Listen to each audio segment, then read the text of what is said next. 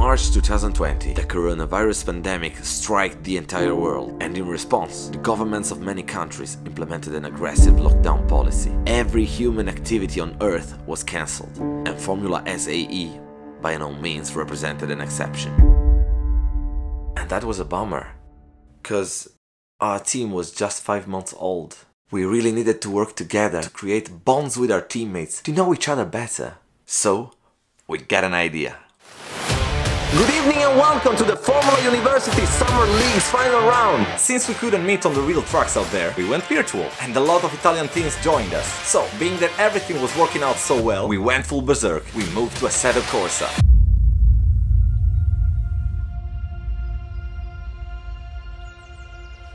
We all agreed to start with a couple friendly races for testing.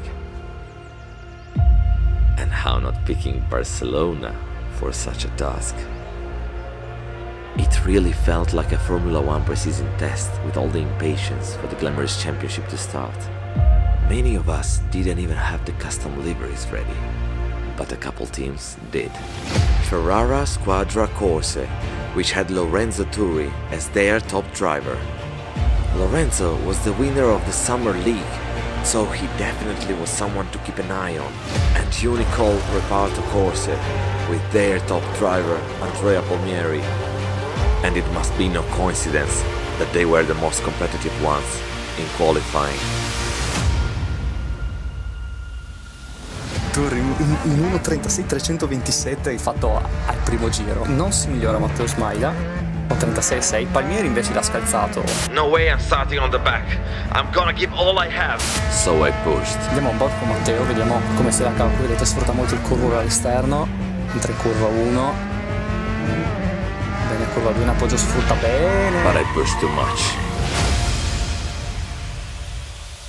Con Lorenzo Turri che va a guadagnarsi la pole position di questa prima gara prestagionale davanti a Andrea Palmieri e a Matteo Smaila. At least my teammate Gabriele was right next to me, so we could hope to make it alive out of turn 1. This is when you focus on how you're gonna release your clutch. When and how you're gonna push the brake pedal. What strategies are feasible and what are rubbish.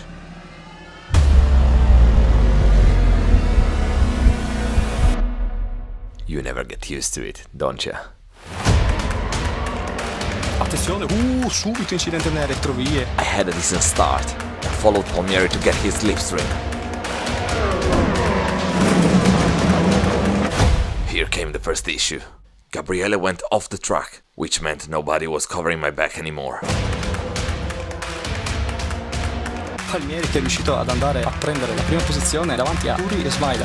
Falavena che è molto attaccato a Matteo Smaila. I underestimated the effect of dirty air, and Christian Falavena, the other Ferrari driver, got me. I had to fix it quickly, or Trulli and Palmieri would have flew away. Turri prova ad approcciarsi alla prima posizione di Palmieri, ma Palmieri non gliela molla. Fortunately, they started fighting each other. This gave me an incredible chance at the end of the next straight. But I overdid it.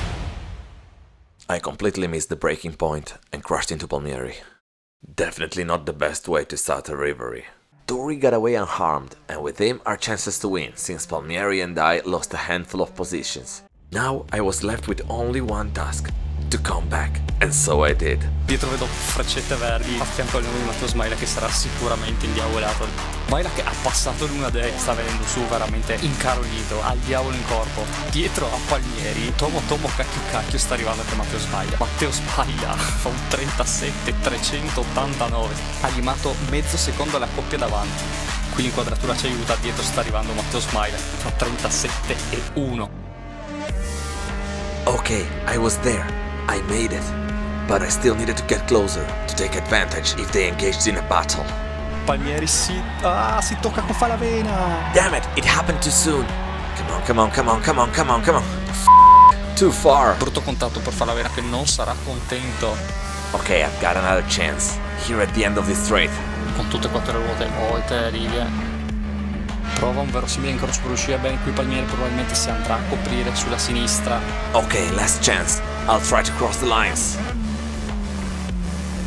Ah, too bad.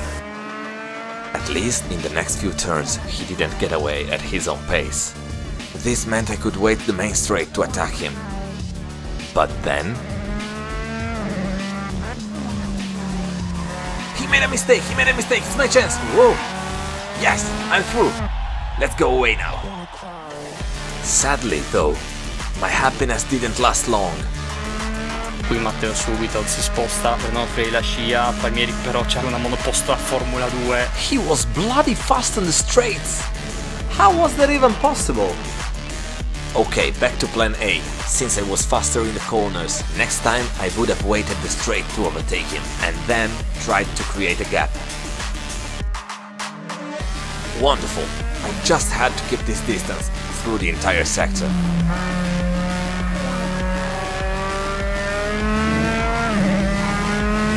I was closer than expected, so I tried a disturbance maneuver. It worked! Oh, he was mine! But wait, he went to the boxes. Well, I couldn't complain. It was time to push and try an overcut. I could finally smell the podium, let's go! On the timetable I saw that, luckily for me, Palmieri got stuck for a pretty good amount of time behind Grammatica, who eventually suffered the destiny I personally tasted a few laps earlier. In the meantime, I was busy closing the gap with Gabriele, and I was confident because I knew he was a bit slower than me. The second place wasn't a mirage, but I didn't know there was yet one more plot twist to face. The pit stop. Di Smaila probabilmente si sta avvicinando sempre di più a eh, Sabak e pittano entrambi, attenzione. We entered the pits very near one to each other. And we were on the very same strategy. Lorenzo Turi was very far ahead of us. And according to my calculations, we were safe from Palmieri. What was about to go wrong then? Stanno riuscendo i due piloti dell'UTS appaiati praticamente. I didn't understand how that happened, but it was irrelevant. The only thing that mattered was not to crash into my own teammate. I was on the inside, so I tried to guess the breaking point and hoped for the best. One moment can turn upside down an entire race. But not this race. Qui vanno al contatto i due piloti dell'UTS Racing Team.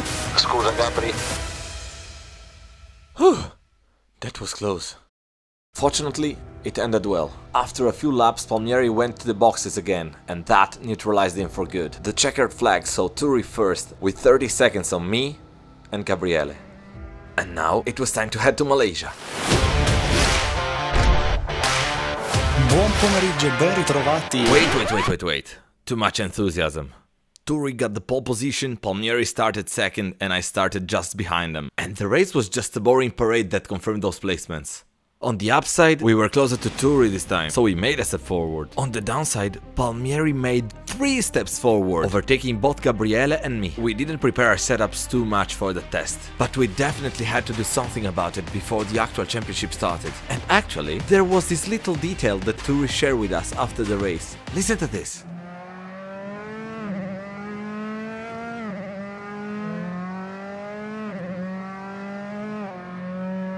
Notice it? He told us to look at the torque curve of the car. Turns out the engine was dying at high revs, so we really were changing gears too late. It was just the first friendly race, yet we were already forced to think to this level of detail. Now the championship was about to start for real, and there really were good reasons to be worried. Still, I had a good feeling about it.